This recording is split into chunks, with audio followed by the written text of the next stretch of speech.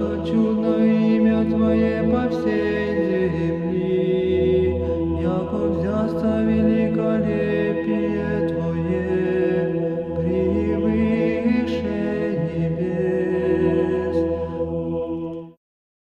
Здравствуйте, дорогие телезрители! Сегодня среда, 28 июня. И Церковь предлагает нам для рассмотрения и для нашего назидания отрывок из книги «Апостол». И сегодня мы будем с вами рассматривать послание апостола Павла к римлянам. Координаты того отрывка, которого мы будем с вами сегодня смотреть, таковы. 11 глава, начиная со второго стиха и заканчивая 12 стихом. И вот как звучит этот отрывок в русском синодальном переводе – не отверг Бог народа своего, который Он наперед знал. Или не знаете, что говорит Писание в повествовании об Илии, как он жалуется Богу на Израиля, говоря, «Господи, пророков Твоих убили, жертвенники Твои разрушили, остался я один, и моей души ищут». Что же говорит ему божеский ответ? «Я соблюл себе семь тысяч человек, которые не преклонили колени перед Ваалом, так и в нынешнее время. По избранию благодати сохранился остаток. Но если по благодати, то не по делам, иначе благодать не была бы уже благодатью. А если по делам, то это уже не благодать, иначе дело не есть уже дело. Что же, Израиль чего искал, того не получил. Избранные же получили, а прочие ожесточились. Как написано – Бог дал им дух усыпления, глаза, которыми не видят, и уши, которыми не слышат, даже до сего дня. И Давид говорит, да будет трапеза их сетью, тенетами и петлею возмездие им. Да помрачатся глаза их, чтобы не видеть их хребет их, да будет согбен навсегда. И так спрашиваю, неужели они приткнулись, чтобы совсем пасть? Никак но от их падения спасение язычникам, чтобы возбудить в них ревность. Если же падение их богатства миру и оскудение их богатства язычникам, то тем более полнота их. Итак, дорогие братья и сестры, апостол Павел пишет свое послание к римлянам э, и обращается э, в, различные, в различных моментах э, своего послания то к иудеям, то к язычникам, то совмещая это.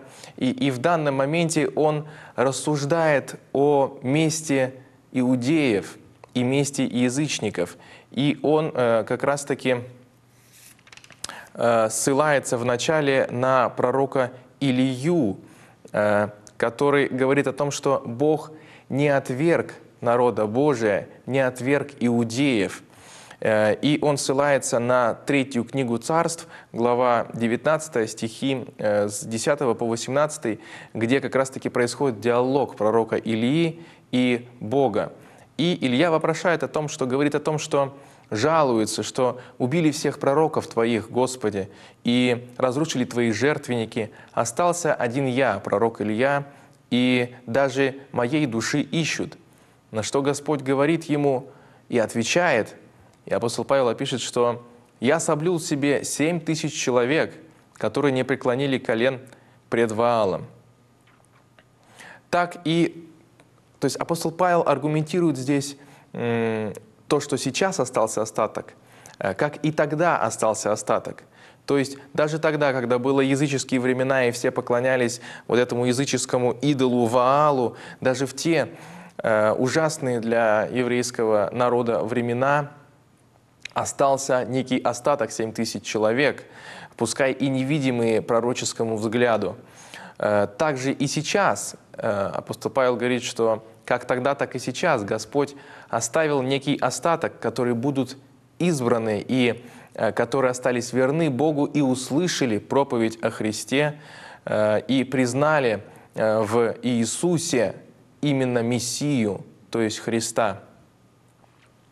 Э, таким образом, э, апостол Павел говорит, что остаток этот остался именно по благодати Божией, а не по каким-то делам, Э, Иначе, в противном случае, если бы это были некие дела и заслуги, то это уже было бы не благодать. И дальше он приводит некоторые примеры из Ветхого Завета, чтобы это было стало понятнее для иудеев. Э, Он напоминает им э, ветхозаветные образы и пророчества. Он ссылается на многих пророков, он ссылается на Амоса, на пророка Михея, на пророка Сафонию, на пророка Иеремию, э, и также он ссылается на пророка Иезекииля, который в свою очередь говорит, что человек не может быть спасен э, праведностью своих предков, не может быть спасен э, принадлежностью какой-то расе, какому-то народу Божию, э, только по факту своей принадлежности. Таким образом, он говорит о том, что необходима личная встреча человека. Э, И апостол Павел непосредственно ссылается здесь на стихи э, из книги пророка Исаия, это 14 глава, стихи 14, 20 и 22. Э, И какова основная мысль всех этих отсылок? А смысл здесь таков, что э, человек всегда должен стремиться э, к личной встрече с Богом. И никакая принадлежность э, не заменит, э, никакая принадлежность какой-то общности людей не м, спасет человека, если человек не э, стал, не поверил в Бога, не поверил в Иисуса Христа и не стал с Ним единым целым. То есть только через крещение веры в Иисуса Христа и э, жизни во Христе возможно действительное спасение.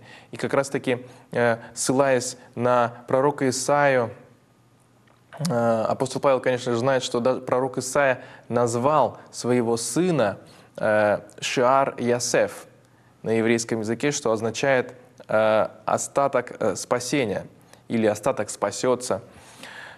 Таким образом, апостол Павел еще раз и еще раз отсылает э, умы своих соотечественников э, к тому, что не раса спасает и не принадлежность какой-то общности, а именно личные взаимоотношения с Богом. И эти личные взаимоотношения с Богом, вот эта праведность, э, о которой апостол Павел говорит в предыдущих главах, э, праведность как э, правда Божия, а правда Божия — это доверие, э, это верность Бога своим обетованиям. И апостол Павел как раз-таки хочет здесь э, привить нам ту мысль, что именно э, доверие Богу, личное доверие и личное отношение человека к Богу, э, верность э, и доверие именно Иисусу Христу, и мы выражаем эту свою верность э, в жизни церкви, живя во Христе, причащаясь э, и соединяясь со Христом в таинстве Святой Евхаристии, изначально соединяемся и крестимся в смерть и воскресение Христа. Э, то есть все это акты личного обращения человека.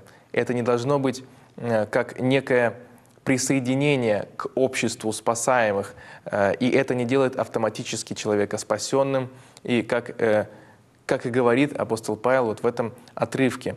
Далее э, апостол Павел э, говорит э, о том, что прочие ожесточились, и он говорит именно о прочих, которые ожесточились. То есть есть некоторый остаток, но есть те, кто помрачились глаза их. Вот он как раз-таки ссылается на ветхозаветные пророчества. Ожесточились, э, прочие ожесточились, и это ожесточение выражено глаголом, э, от глагольно-существительного которого э, переводится как «омозолились». То есть, когда есть мозоль, тело человеческое перестает быть чувствительным в этом месте. И таким образом многие из иудейского народа как раз-таки омозолились, то есть стали нечувствительными к благодати и к Слову Божию. И апостол Павел говорит о том, что несмотря на все это, на то, что иудейский народ стал нечувствительным, э, это позволило и это открыло врата для язычников. И он говорит о том, что если даже такой прискорбный факт, что иудеи отвернулись от Бога, привел к таким благодатным э, дарам, что язычники обернулись к истинному Богу, то каково же будет радость и ликование э, от того, что и евреи обернутся к Богу. Дорогие братья и сестры, будем помнить о том, что необходимо читать Священное Писание каждый день, помня о том, что Господь разговаривает с нами со страниц Священного Писания и обращается к нашим сердцам. Всем радости о воскресшем Господе и до новых встреч! Господи, Господь наш, яко чудно имя Твое по всей